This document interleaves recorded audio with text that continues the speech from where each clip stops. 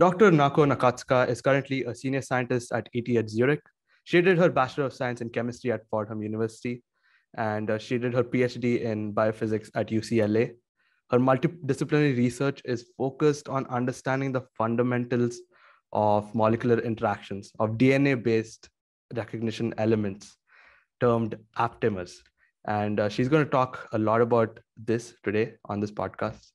And a couple of interesting facts that I found out about her were she's she has over 25 publications to her name. And she can speak four languages uh, japanese english german and french. uh, not fully. So so so so welcome dr nakatsuka how are you doing today? I'm good thanks. Thanks a lot for having me on your podcast. Thank you for joining. And uh, let's get into the first question which is what exactly got you into this field that you're in and what exactly is this field that you're researching in Mm-hmm. So I got into the realm of bio nanotechnology when I was a bachelor student at Fordham University, actually.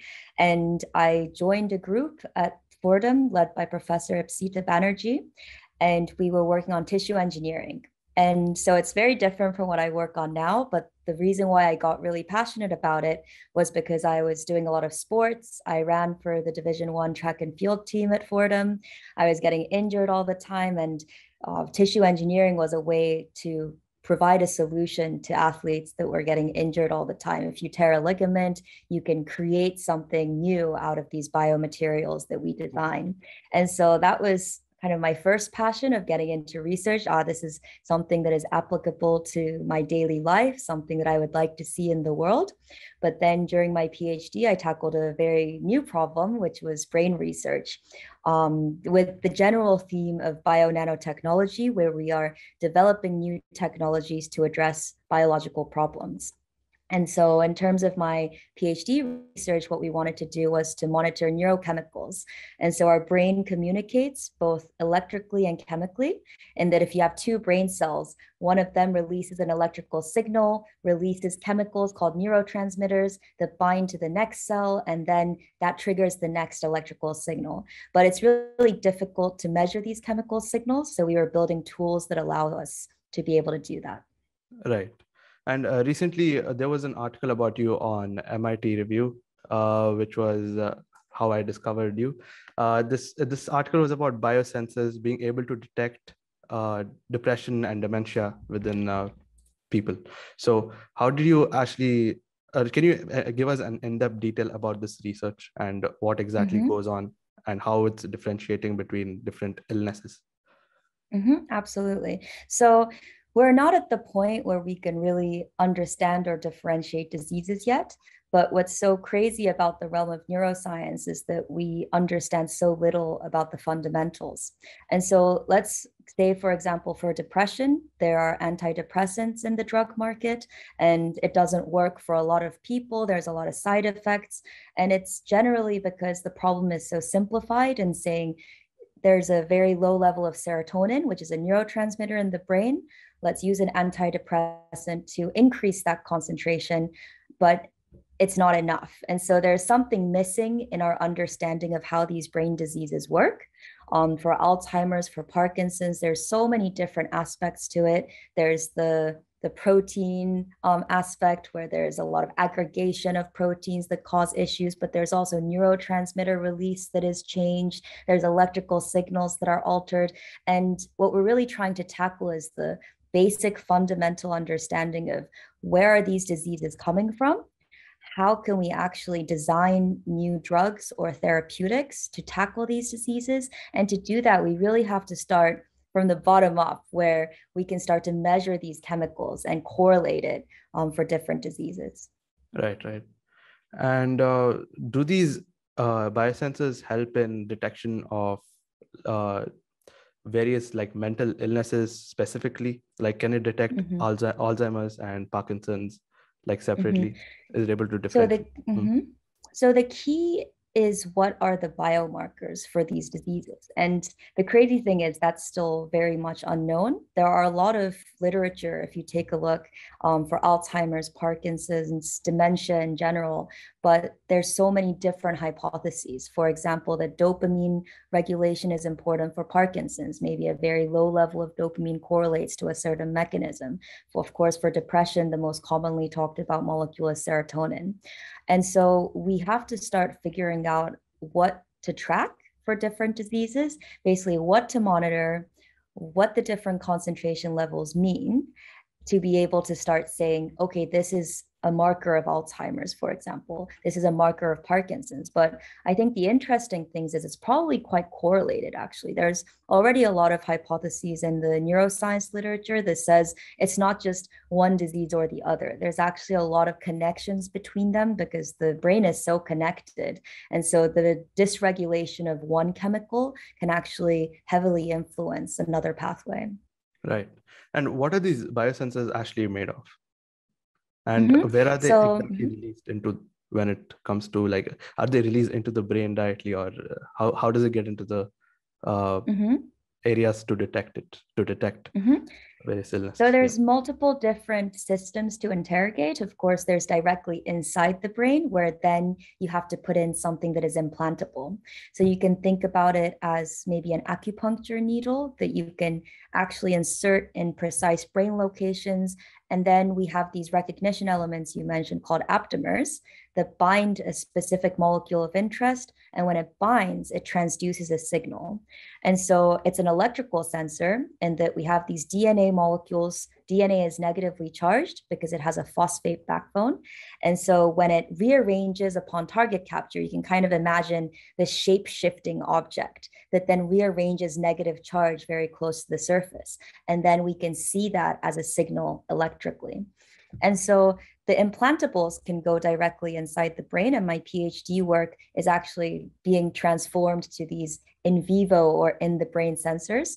But my current work as a postdoc and senior scientist at ETH, we've been trying to tackle in vitro systems. So these are much more simplified systems that are outside of the brain, so in vitro.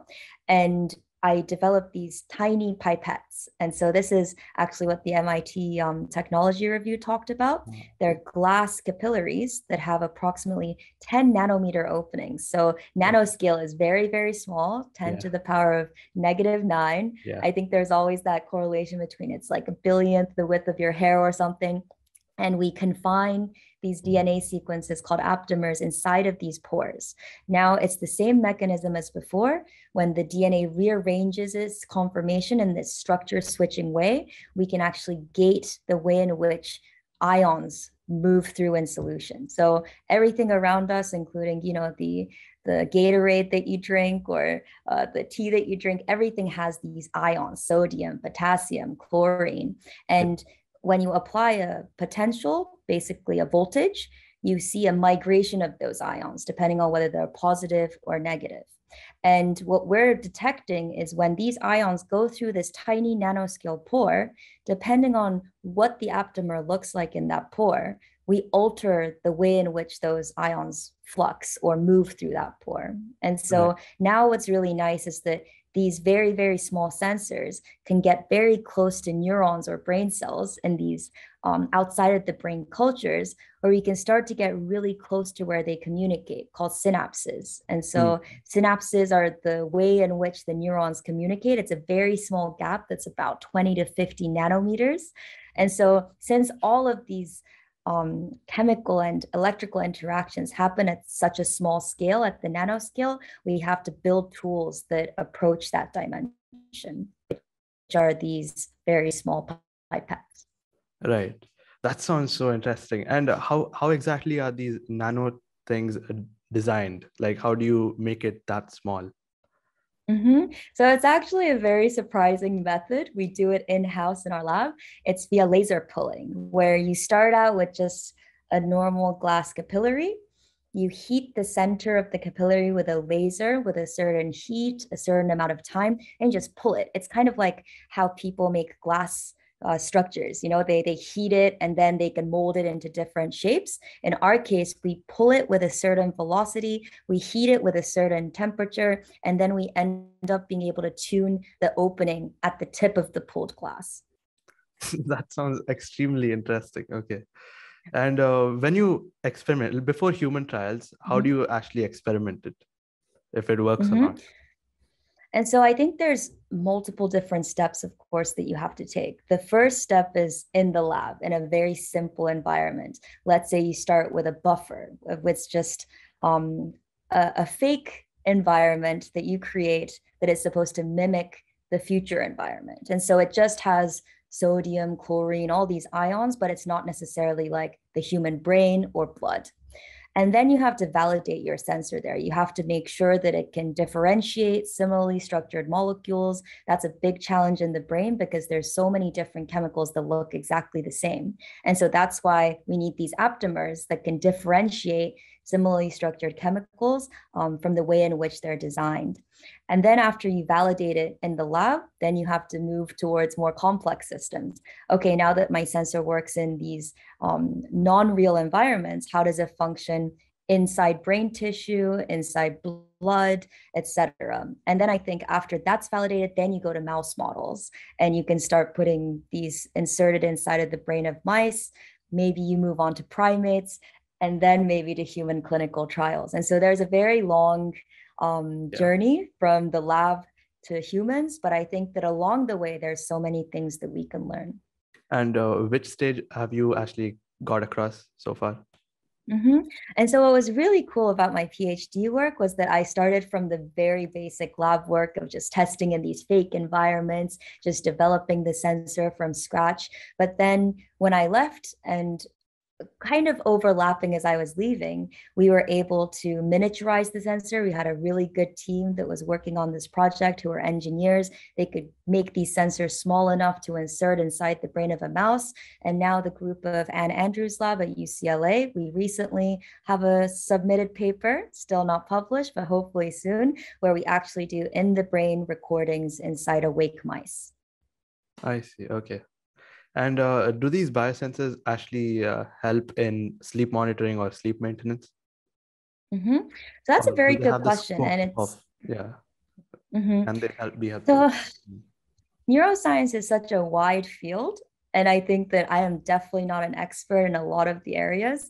But for example, I have a collaborator that I was talking to where we wanted to design sensors to monitor different um, aspects of Alzheimer's. But actually, she comes from a sleep group where they have certain chemicals that they want to monitor to see whether it correlates with the circadian rhythm basically how how your sleep sleep cycles happen on what influences that and so i think that the ability to measure chemicals, um, especially the generalizability of our approach, and that we don't necessarily need to just monitor serotonin or dopamine or neurotransmitters. We can monitor other biomarkers, allows us to really tackle um, any problem that might be of use to the neuroscience community.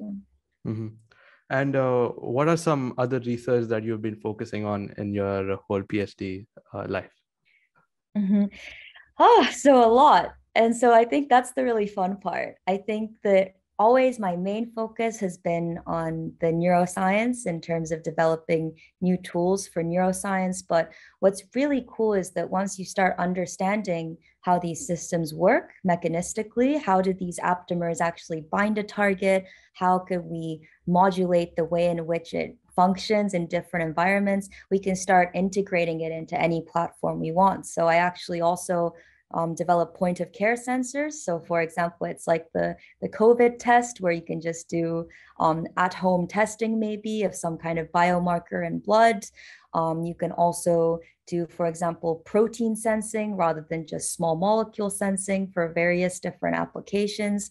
Um, my first PhD pro um, project was actually not biosensing, but creating screening substrates to actually discover aptamers. And so to, in order to find aptamers for different targets of interest, you actually have to go through a protocol that allows us to find them in the first place. So it's a very multidisciplinary yeah. uh, research area where I think that I've I've touched upon so many different topics, but yes. the main focus has always been neuroscience. I see. And what are your future plans when it comes to you know developing as a scientist, and what are your future plans when it comes to your work, your research?